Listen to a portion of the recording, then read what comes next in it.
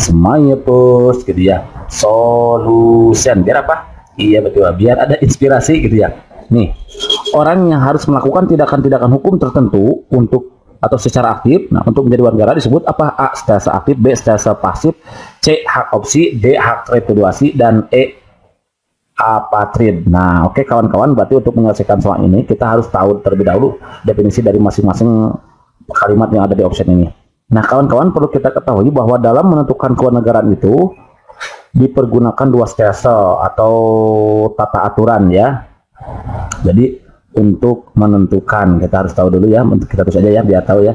Untuk menentukan apa untuk menentukan kewarganegaraan nah, kewarganegaraan kewarganegaraan itu dia pergunakan dua stelse atau tata aturan. Satu stelse aktif hmm.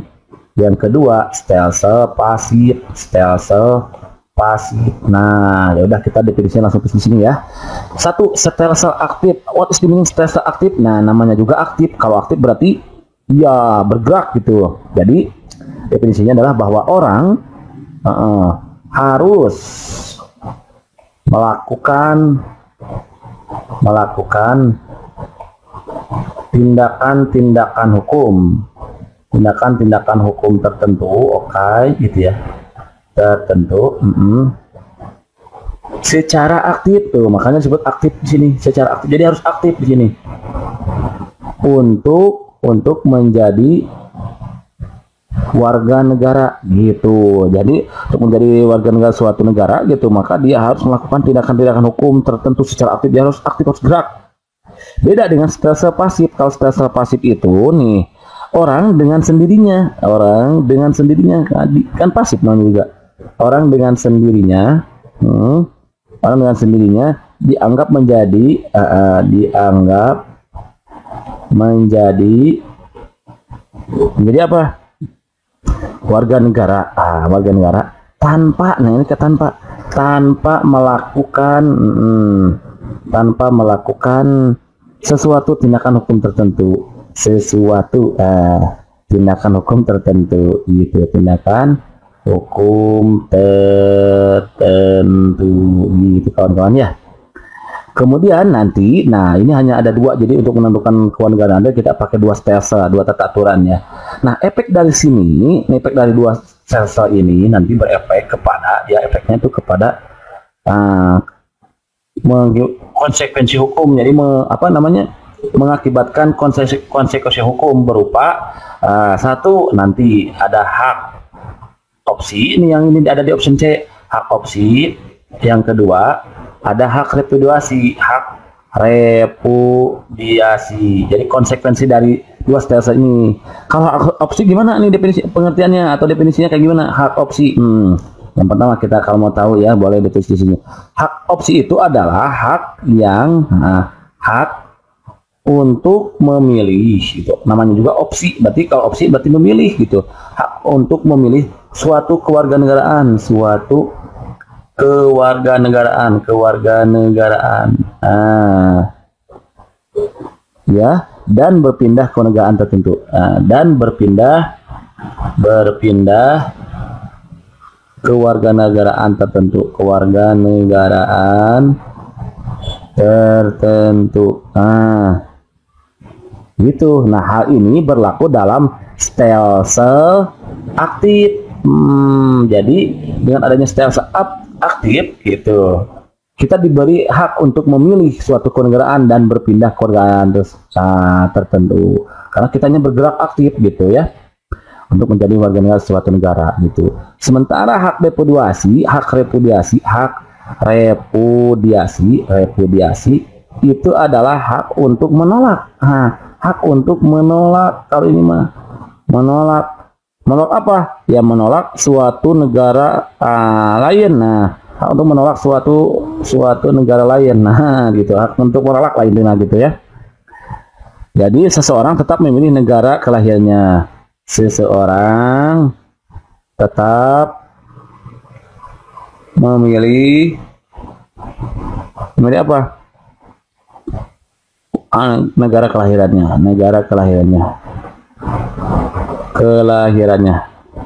Nah, kalau ini mah berlaku dalam stase pasif, stase pasif. Nah, diam kan pasif itu diam ya. Kalau pasif mah dia dengan sendirinya dianggap menjadi warga negara tanpa melakukan suatu tindakan apa pun. Makanya ini hak repatriasi hak untuk menolak uh, untuk menolak suatu negara lain karena seseorang tetap memilih negaranya negara kelahirannya gitu itu mengenai definisi dari hak repatriasi. Oke, barangkali itu saja dulu kawan-kawan yang bisa disampaikan dalam kesempatan ini. Uh, jangan lupa dijawab dulu soalnya ini jawabannya apa berarti kalau begitu Hah? Iya betul, stelse aktif berarti yang A begitu kawan-kawan ya. Semua ya pos solution. Biar apa? Iya betul. Biar ada inspirasi. Oke kawan-kawan, perlu kita ketahui bahwa ada kan ada empat asas kewarganegaraan ya. Yang harus kita ketahui empat asas kewarganegaraan. Yang yang dua itu pakai ius, ius. Yang pertamanya itu ius sanguinis, sanguinis. Yang kedua itu masih ius, ius soli, uh, soli. Yang ketiga itu adalah bipatrid, uh, bipatrid. Dan yang keempat itu adalah apatrid. Nah, ini uh, mengenai empat asas kewarganegaraan. Lalu apa definisi dari masing asas ini? Nah, yang pertama kita mulai dari yang pertama. Ius sanguinis, sanguinis. What is the meaning ius sanguinis? Gitu kan? Nah, Yusawinis itu adalah asas keturunan. Nah, jadi disebutnya nama lainnya adalah asas keturunan. Keturunan atau hubungan darah, hubungan darah. Artinya bahwa keluarga seseorang, hmm, baguslah. Artinya bahwa uh, keluarga negaraan seseorang, keluarga negaraan seseorang, keluarga negaraan seseorang, seseorang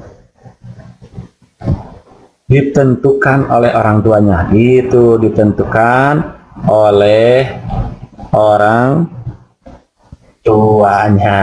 Nah, ini mengenai definisi dari ius sanguinis gitu.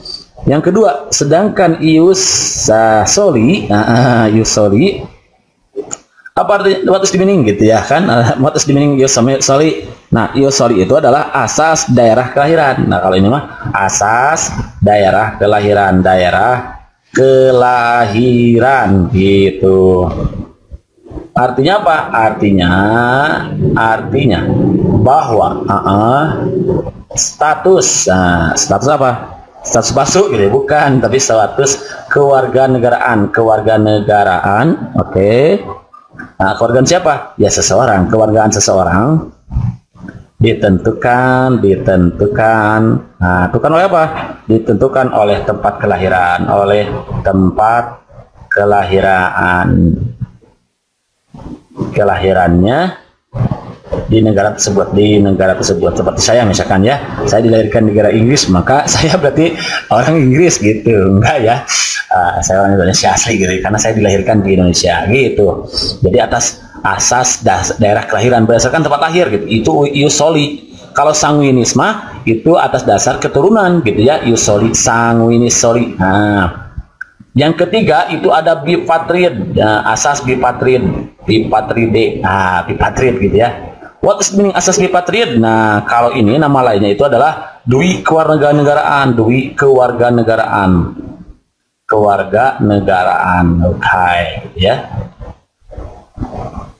Yang timbul uh, timbul apabila apabila hmm, menurut menurut siapa?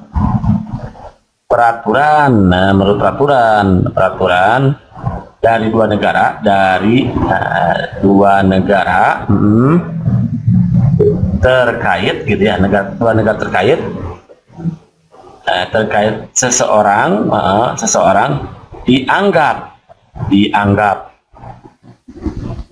sebagai warga negara kedua uh, kedua negara itu gitu.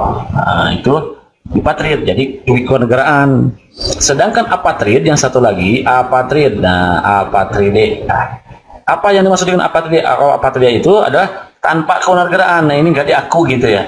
Tanpa kewarganegaraan kewarga negaraan hmm.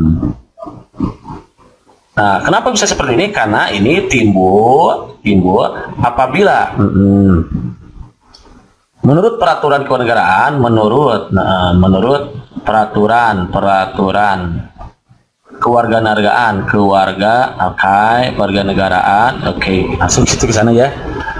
Seseorang tidak diakui, nah ini tidak diakui kasihan ya seseorang tidak diakui. Uh, sebagai warga negara dari negara apa pun. Gitu nggak diakui nih mah. Ah, kasihan gitu ya. Jadi gitu ya kawan-kawan. Ada empat asas. Asas ius sanguinis asas ius soli asas bipatri dan asas apa tadi? Nah sederhananya ius sanguinis itu adalah atas dasar hubungan darah gitu. Kalau hubungan darah berarti atas dasar orang tua kan gitu kan ya? Yusoli itu kelahiran gitu, tempat kelahiran di mana gitu. Kalau kita lahir di Indonesia ya berarti warga negara Bipatri itu dui, dui kewarganegaraan. Jadi berdasarkan peraturan ini, peraturan dari dua negara terkait gitu. Ya tercatat di negara Indonesia, ya di negara lain ya gitu misalkan. Kalau apatrid beda kebalikan dari bipatrid. Kalau ini nggak ada yang mau mengakui, nggak diakui ya. Tidak ada yang mengakui, kasihan ini mah gitu. Oh jadi kalau begitu jawaban yang paling tepat untuk soal nomor satu ini apa? karena didasarkan kewarganegaraan yang didasarkan pada orang tua, nah itu berarti masuknya adalah i asas ius sanguinis karena dia berasal dari hubungan darah, yaitu ditentukan oleh orang tuanya. Oh berarti kalau begitu jawaban yang tepat ada yang A begitu kawan-kawan. Understand? Any question? Ingat-ingat, jadi, jadi mantap.